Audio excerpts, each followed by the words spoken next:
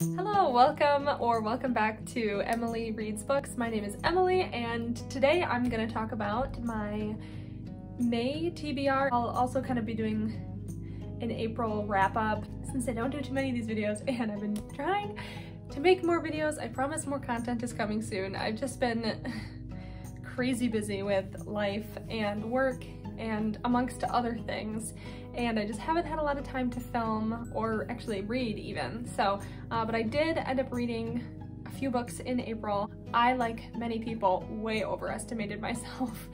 And so a lot of my April TBR books are also going to be on the May TBR and I'm I, I didn't put too many new ones on my TBR for May so I'm hoping that I can actually get through all of them this month.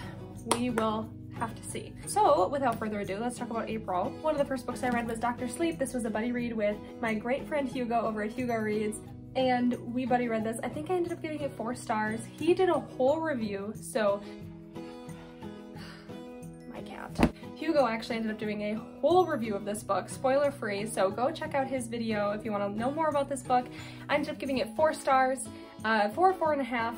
I thought it was great. I haven't read too much Stephen King. I really enjoyed the writing style. I loved that it was a sequel to The Shining, which is another story that I, I really enjoyed by him. It's like the only other Stephen King book I have actually read in full. Carol is here. She's just out of frame. You can't see her. But yeah, it was great and I enjoyed the story a lot. I love character development that Danny goes through the entire book and I had seen the movie first and the book was definitely not disappointing even knowing the plot of the story. So definitely a great read, loved it. Next I read And Then You Were Gone by R.J. Jacobs and this was a short mystery thriller where a woman named Emily actually which was wild to me, who has bipolar disorder. She and her fiance, fiance,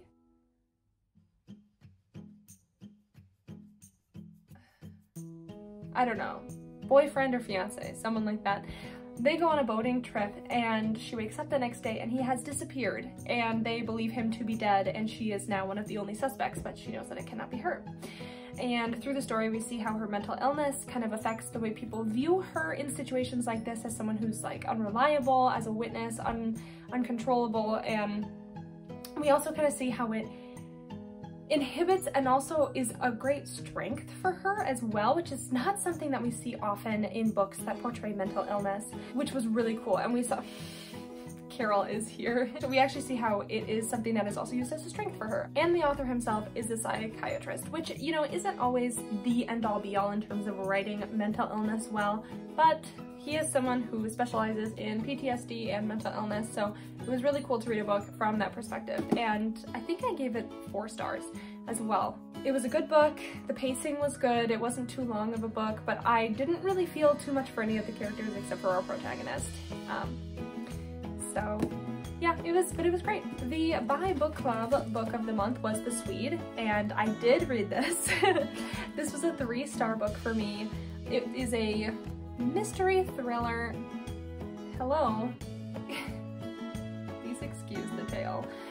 Uh, it is a mystery thriller that follows Ernst Grip, who is a security officer in Sweden, and he is called in by the American FBI to question a prisoner of war, terrorist kind of guy, not prisoner of war, what am I talking about? He was found linked to a terrorist organization, uh, and this is seven years after 9-11.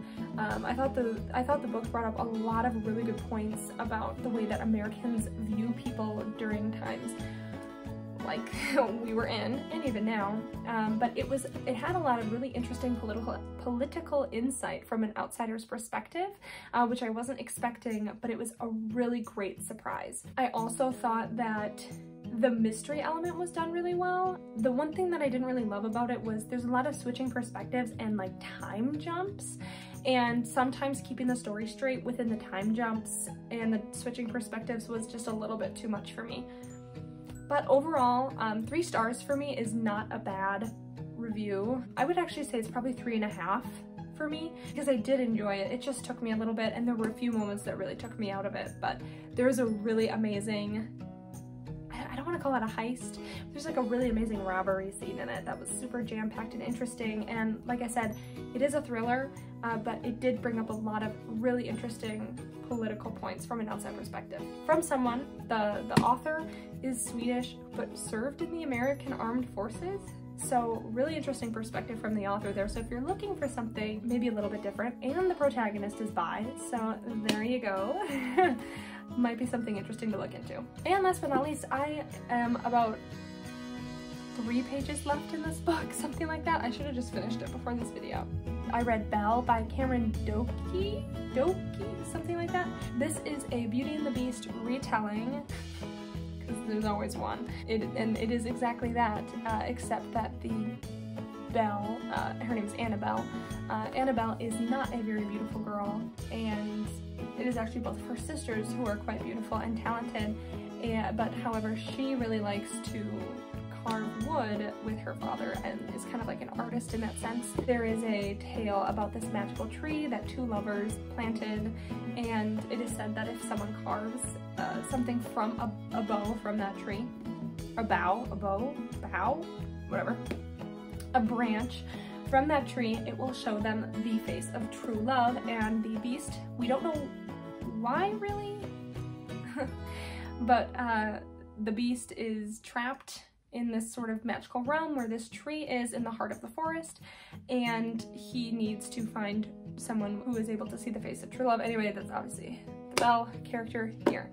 We actually don't meet the beast until like three quarters through the book and he is like a super nice guy not really a beast at all, except in looks. So, uh, but I really loved the familial relationship that we have and the father-daughter relationship between Belle and her father uh, in this book. I thought that was really well done. It was beautiful, and I thought the author did a great job with that. I think this is gonna end up being another three to four star though. It was a good read, but it's definitely not a favorite by far, and it didn't, other than the whole like folklore with the tree and everything, it didn't really bring anything new to the retelling, which obviously retellings are meant to be similar to the original. And I thought it was well done. I just, it just wasn't one that uh, stuck out to me as being much better than the rest. I've read a lot, so. Okay, so that is all I finished in April. Segue here into my May TBR, Six of Crows. Now, I didn't put this on the April wrap-up, obviously, because I haven't finished it yet. I'm about I don't know, a third of the way through and like, let me tell you, I have been struggling with this book because I was expecting so much and the first like quarter of this book was so slow. I mean like we were, I was a hundred pages into this book and we were still meeting people for this heist and I was like what is even going on? I get that we have like a lot of world building to do and a lot of people that we have to meet. I am vlogging this, so hopefully that will turn out okay and I'll post it, but it's, it's fine. I don't, I'm not gonna DNF it by any means because I'm determined to finish it and see why everyone is so obsessed with it, um, but I am not disappointed so far, but I'm just kind of waiting for it to get really good, if you know what I mean. So, Six of Crows. Next, I decided to join the Stephen King book club because I needed, I, I find that if I have other people who are relying on me to finish something to join in on the conversation, I am better about reading more.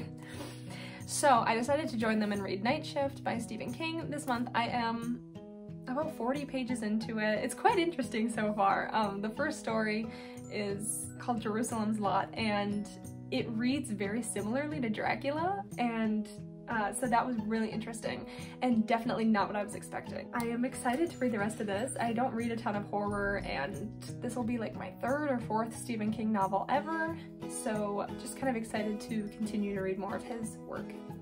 And I'm excited to partake in the book club with all my friends. On the subject of Stephen King, I also was at the library and picked up Carrie by Stephen King. My friend Logan, the Bi Book Boy, who is also in the Bi Book Club with me, has recommended this to me before. It is a shorter novel by Stephen King, and I love the musical. And That's a horrible reason to read this book, and it's not my only reason to read this book, but I am excited to read this, and I'm happy that it's a little bit shorter, so I'm like really hoping I can get through it this month. I'm gonna be so mad if I don't. but then it'll just be for June, right? I cannot believe we're almost halfway through this year. Okay, moving on. For the Bi Book Club Book of the Month, we're reading An Absolutely Remarkable Thing by Hank Green. Hank Green, our savior, savior, wrote this book. We love him. And I honestly could not tell you the plot of this book even if I tried. I have read the synopsis 15 times and I still don't fully understand it. From what I get from it, there is some sort of alien that comes to Earth and our main character, who is bisexual, named April May, is the first one to document these aliens' existence on Earth and they she kind of becomes like uh, viral overnight and so it's kind of her navigating what that means for her and her relationships. That is what I understand about this book. I'm very excited to read it. I've heard such great things about it and join our book club and watch the live stream. It's gonna be a great time. Okay, another book that I took from April for May is gonna be Warbreaker from Brandon, Brandon Sanderson. I am trying so hard to get through all these Sanderson books in the Cosmere. It is taking me forever. They're just really long. Okay, I'm trying my best. I started this before I finished Words of Radiance because I was told that if I read the prologue, I would get the little tidbit at the end of Words of Radiance. And I did, and it was great. It just wasn't as great as people hyped it up to be.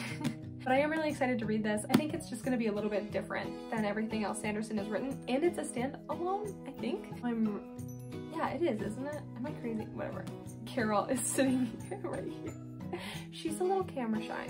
She still likes to be here though. I think it's a little bit different than a lot of his other stuff, uh, and I've heard that from a lot of people, so I'm really hoping that, that it turns out to be great. I think it will. And then lastly, the book, the last book I plan on reading this month is A Wrinkle in Time. I found this book for very little money at a thrift store forever ago and it's a book that everyone read when they were little and I just didn't and it's nice and short. I'm hoping to get through it uh, this month along with all my other short books that I'm reading. It's supposed to be really good. I've heard a lot about it, I, but honestly, I don't know. I don't know anything about it. People just love to talk about it. So I hope to read it and know what people are talking about. and I know it's a movie, and I wanted to watch the movie, but then I stopped myself because I knew I was gonna read the book first. So here it is. Here's the book. It's here in my hands. I'm gonna read it this month. I'm promising myself.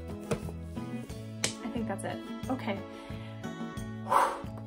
Will I make it through my May TBR? Probably not. Thank you so much for watching. If you stuck through to the end, I appreciate you being here. I hope you have a great rest of your week.